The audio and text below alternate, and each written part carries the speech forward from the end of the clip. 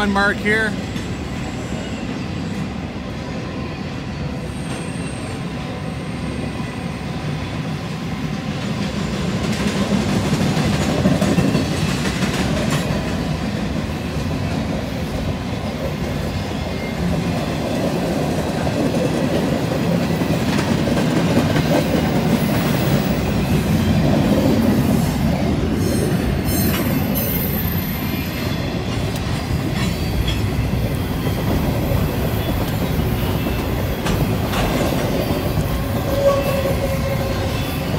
Train's fun.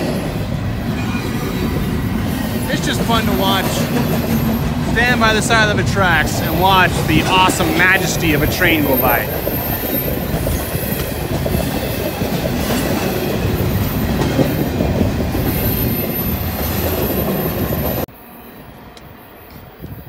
Oh, that train just didn't want to end. Yellowhead Mountain Viewpoint. That's what I'm doing today. I'm in Mount Robson. Provincial Park. There's the trailhead. It's not that easy to find. If it wasn't for the book, there's no way.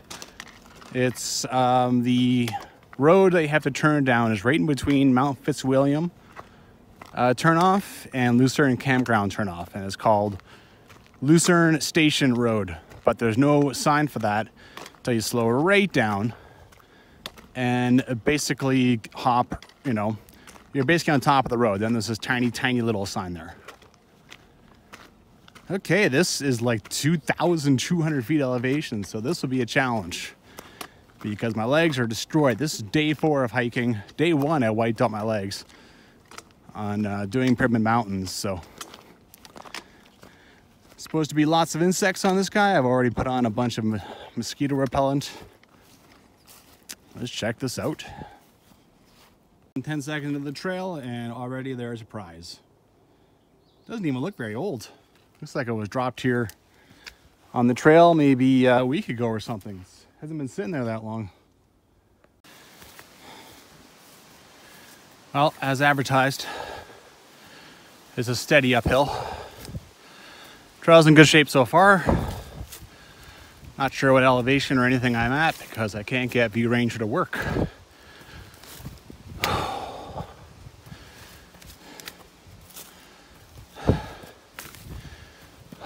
It's gonna be a long, arduous climb. And I'll get my knee brace on and it'll be a long, arduous descent. It'll be an awesome view though.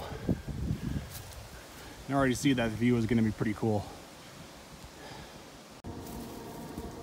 All right, first view.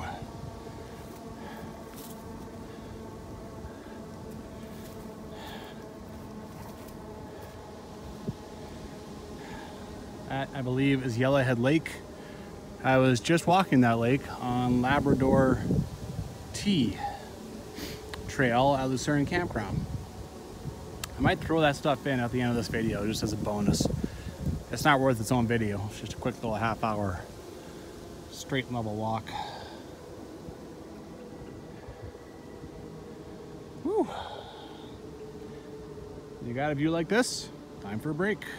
What a perfect shot of Yellowhead Lake.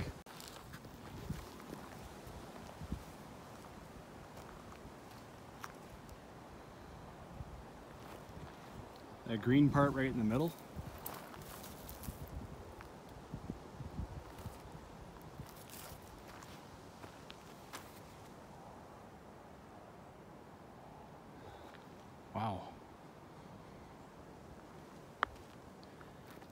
There is a nice little bench here, but I just took a break. I think I will use it on the way back because this view is not to be wasted. I gotta say that Mount Robson Provincial Park is just well taken care of. I know there's a lot of money that pours into this park because of the rather big tourist attraction here, but man. So this trail isn't hard to follow, but these trees are all tagged. You know, uh, it's quite reassuring. I've never actually seen, I don't think I've seen so much tagging going on. There's one there. Yeah, I'm surprised I can't see another one right now. There's just a lot of them. They just make sure that you know where you're going. So even in winter, you could come and hike this if you're completely nuts. Do some snowshoeing because of the tags. Oh, well, I can see another one now.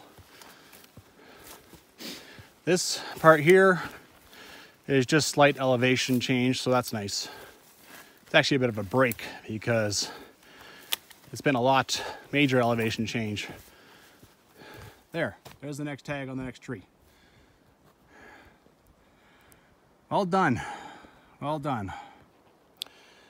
Well, I'm coming to a few realizations. I was hiking to a viewpoint. That was kind of the first, um, you know, the first waypoint in my mind. Well, what I did not realize was that that bench was the viewpoint. And then the trail went into the trees. And now it breaks out beneath Yellowhead Mountain. So fantastic shots of Yellowhead Mountain here. Oh. Just got bit by a mosquito. Geez, I already need to replenish my propellant. Oh boy, I'm stepping in water. Okay, I gotta pay attention to where I'm going here. So here, I will film, film, film, and then I'll walk. That's a plan. Okay, it's only been like 10 seconds since I stopped filming.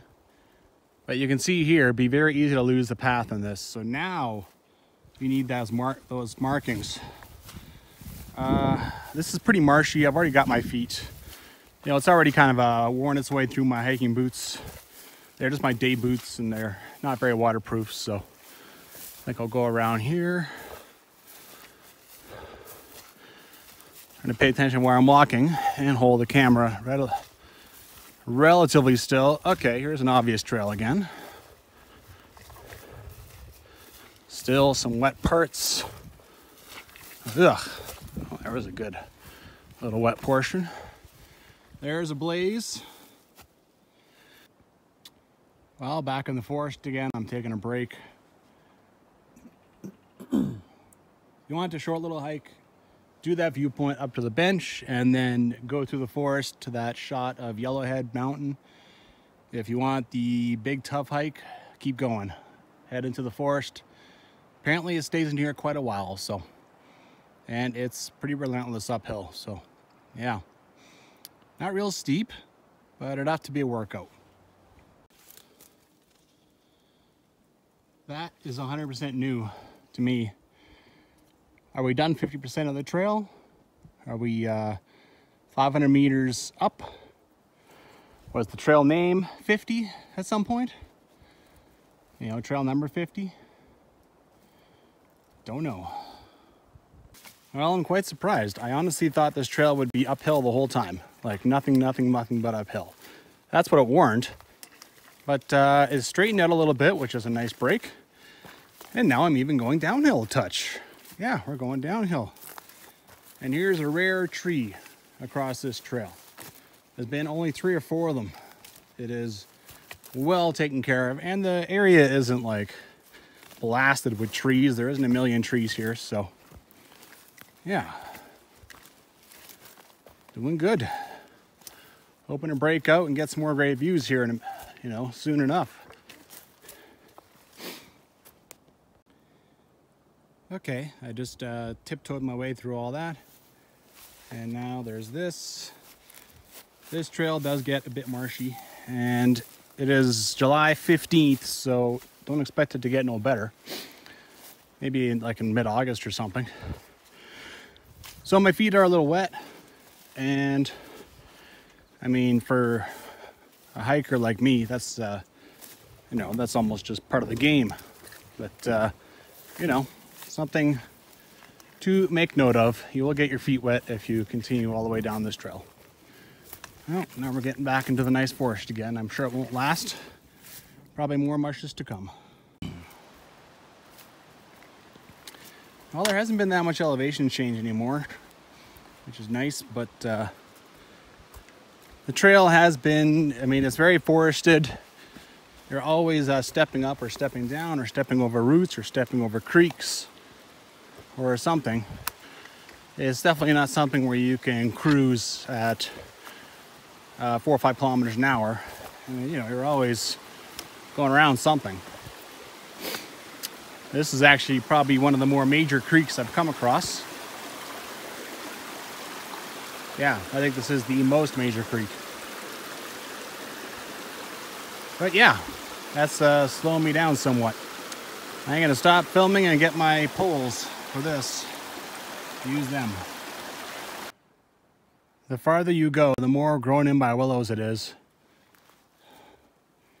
But they have done some impressive work. Like this monster must have taken forever. And it looks very recent. These two huge pieces, my lord.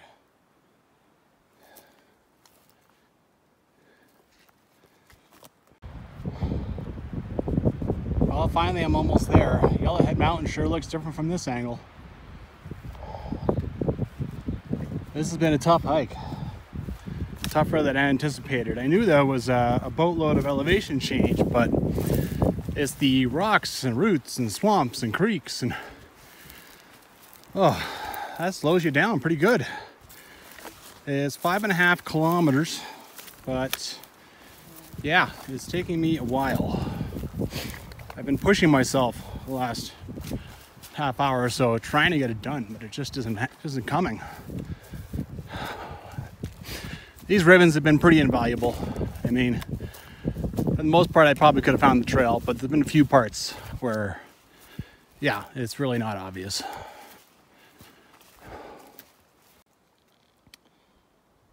Well,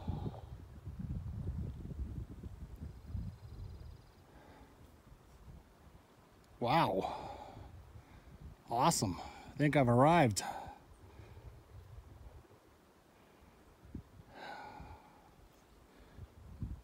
Oh. I just literally just spotted this.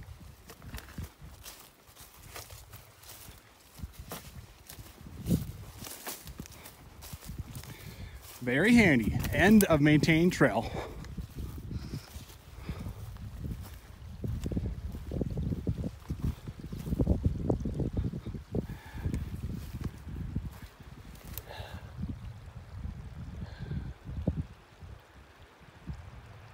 Very cool. So, when you look at guidebooks, they're always done by experts. You got to take their times with a grain of salt. Uh, I'm not an expert. The time was given as two hours, six minutes. It took me two hours and 45 minutes. This is my fourth day hiking, but yeah, probably it wouldn't have been that much better even if I was not tired. I'm going to wander around in here a little bit. There is in the book, which I have, which is 20 years old, to be fair, there is like little satellite trails and stuff. I could hike up over there and check out uh, Mount Toot Toot, that sort of thing. But, you know, first I made a point of interest on my app. And I have to watch over that yellow marker because I could see myself getting lost in this real easy and not able to find my way back to the trail. So got to be careful in this. I'm not wandering far. I'm just going to enjoy this beauty. My God. This is fantastic. I can't, that wall of white up there, that snow, I don't know how it's staying up there. I feel like it should be falling. Man.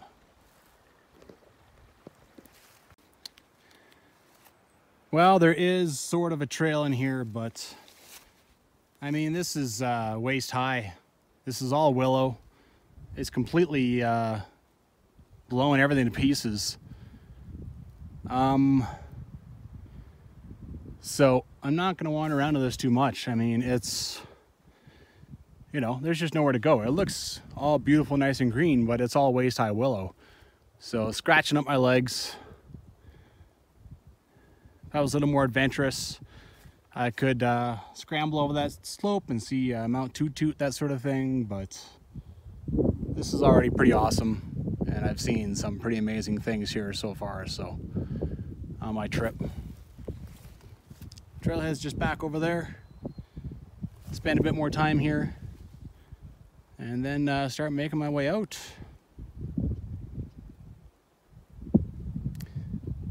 By the way, I, I was warned that this is prime grizzly bear country. I have been making all kinds of calls. Cuckoo! I take every precaution with bears, except for the fact that I hike by myself, which is a big fat bear no-no. But I have bear spray and I make a lot of noise and I see no wildlife ever. No elk, no caribou, no bear, no coyotes, no nothing. They know I'm coming and they vamoose. This is classic grizzly bear, I think. I'm no expert, but to just pick up that rock and move it and eat all the bugs underneath it, like that rock's huge. Grizzly bears are so bloody strong. And then all this is sort of torn up. You know, they, uh, they come in and they just tear things up trying to find bugs. So none of it's fresh. But when you see big rocks moved, I mean, nothing is strong enough. Maybe black bears, but I don't think they do that. I think that's just grizzlies. Sheesh. there really is nowhere to go. Unless you're going to take uh, a machete and start whacking away at these willows, there's no place to go here. Um, you know, I have bare legs. I do have my the sleeves for these convertibles, but you know, yeah, I don't want to bad enough. You would have to get some tough pants and start hammering through that stuff, and it'd be a lot of work. I don't want it that bad.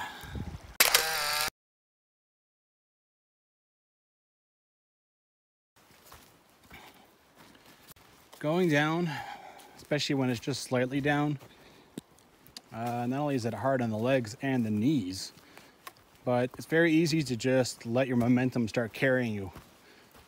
And on a trail like this, you gotta be, you know, I could twist my ankle on a root, no problem. So you gotta hold yourself back, which means engaging those quads and be sure of every step. This is a pretty good part of trail, actually. Uh, that's why I'm filming. Otherwise, I want both my hands on my trekking poles because I just carry them along like this when I'm filming. But I'm still, I mean, I pretty much never raise my head. It is centered on the trail because I don't know what's underneath. Just a little bit of moss. There could be a big root poking out. And, you know, your feet are kind of tired your calves are sort of tired and you also kind of relax a bit, right? Because I've reached my destination. Now I'm just on my way out. Ho hum. I'm done the hike. You know, well, no, I have to concentrate. Don't twist an ankle. Watch your footing. There's a long way to go. I got at least two and a half hours to walk. So, yeah. Other than that, I don't know what else to shoot on the way out of here. That's the problem with the back and forth. Great spot for a break.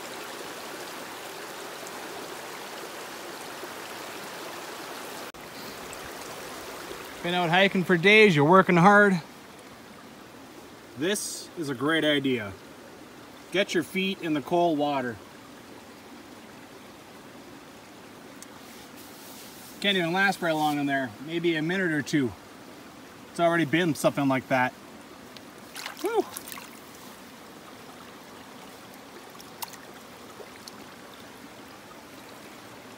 They're like red. Amazed they're not turning blue. Here's something I didn't put on camera the first time. This is really the only impediment on the trail. And that's a pretty big impediment. And that tree it's not so much that the tree is huge, that the branches are deadly. What I did was went around this way. So there is a mark here to show you where the trail is. Came around over here. You'll see the uh, tramp down moss. There's the base of the tree.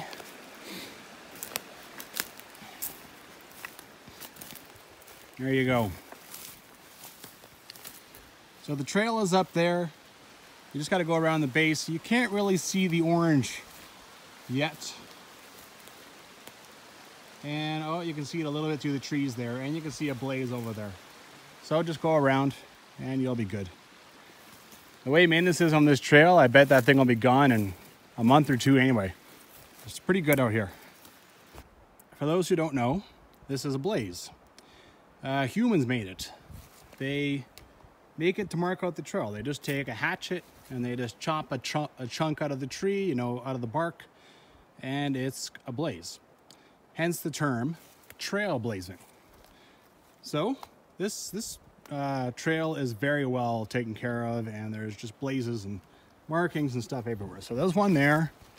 You know, the, the trail is easy to find, but that sort of looks like one. And what else we got here? That could be one. It looks really, really old. Oh, there's one. There's no question about it. Here you go. That's another blaze. That one's probably another one, except this tree is, looks like it's kind of dying, so I'm not sure. But they're fairly unmistakable. Sometimes you'll uh, see blaze trails and the trails are practically gone. Someone decided to make that trail. It could have been 30 years ago. Uh, the blazes last a long time. The trees stand a long time, so yeah.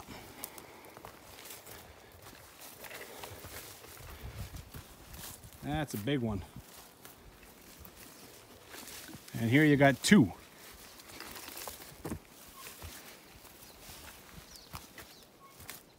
There's one there. And then there's one there. And the park staff even put one of these. There you go. Those are blazes. This is a much different perspective. I don't think this is Yellowhead Mountain. I don't know. I don't think it's all. It's probably just uh, considered a chain where the hike took me was all the way around the right side of that peak. Already got a good shot of it from this spot. And so, you know, into that valley all the way over on the right. Right? All the way around there. This is pretty cool too, though. Well, my knee brace has given me a blister. And I mean, literally I had to stop immediately and take care of it because it was obvious when it got through the skin and just stung. So I have cut a little square out of moleskin and I'll put that on there and that'll have to work. Otherwise I'll have to figure out a way to get out of here without it. Um, I do have one of these tensor bandages, you know. I mean, I always figured this thing was temporary. I just but for a $100. I guess I could use it when I'm coming down in some scrambles, but obviously I'd have to use moleskin and such. But I tend to think I'm gonna I'm gonna figure out how to use this thing properly. If I can wrap it around my knee, then I mean I already bring it along just in case of a twisted angle or something. So I should I should figure out how to use it properly because I've already figured out that this big monster is a little too much to be bringing in a backpack just just in case of a snore a knee right? So, yeah. Anyway, I'll get some moleskin on there. I'll put it back on and carry on. Pretty amazing. Good place for a break too with a bench. Well, this moleskin lasted maybe half hour. And then when I tore, I pulled the knee brace back to check on it because it didn't seem to be doing much anymore. It came right off. So I'm gonna put it on, I'm gonna get an even bigger piece and put that on and see if I can make that work. I still got all this elevation loose, so I don't wanna take the knee brace off. There. That's a pretty aggressive piece. Let's see if that holds. Well, I'm almost done. Here's the trail. Apparently in 1994, they found the trail was too hard to find, so they moved the trailhead. Like they, yeah, they found the trailhead was too hard to find. And they still have the marking over there. So, make things a little more interesting, I'm gonna follow The trail is barely, you can barely make it out. But I'm going to follow that down to the old trailhead. Obviously, this is it, but they never took this down.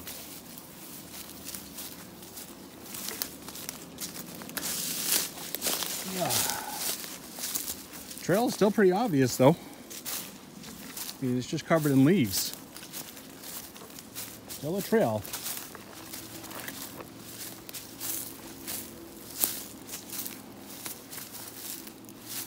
Uh, until now, it was obvious. Where to go?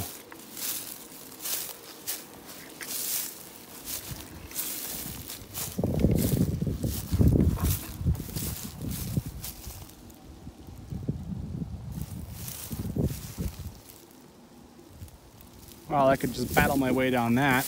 I sort of wanted to see where that trail came out.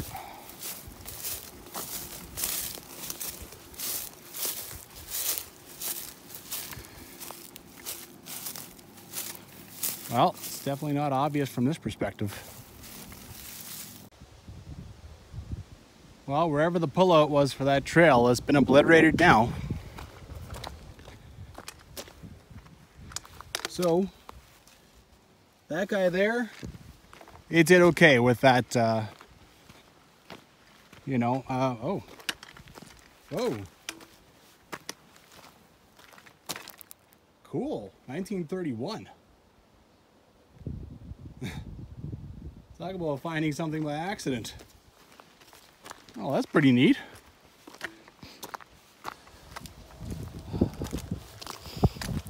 I guess I'll see you on the next one. Maybe I'll do another wrap up for this because, you know, I find that my wrap ups are a little uh, brain dead. Primarily because, I mean, I'm brain dead, right? There's the new trailhead. But uh, I'm gonna go sign the register. Make sure it shows that I've signed back in. Always do the register so that Parks Canada can take it to whoever is trying to cut their funding and you know say look people are using the trail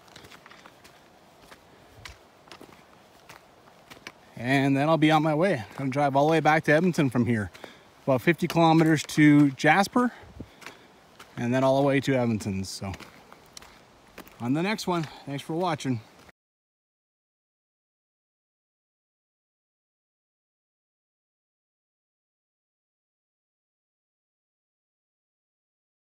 Uh, I'm at Lucerne Campground. There's a quick little hike here, about half hour. We'll see. Uh, we'll see if it's worth it.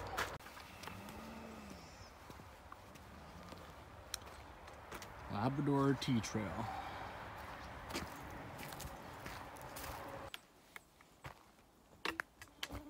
I kind of hang out here long though because I did not bring mosquito repellent and I'm getting bit. Eee, killing stuff. Oh, I just killed a bloody one. There's a bite. Not bad though.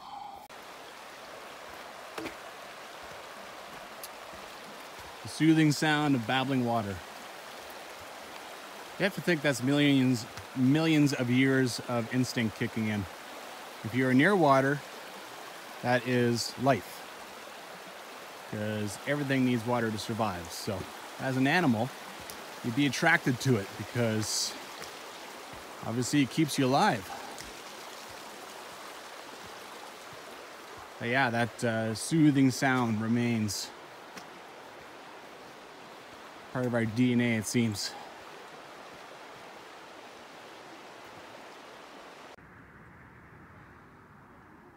Nice.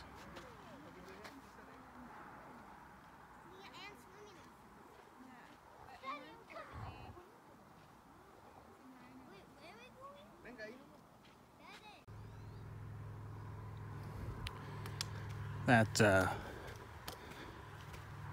beach and wonderful little lake. That's something that no other campground in Mount Robson can boast.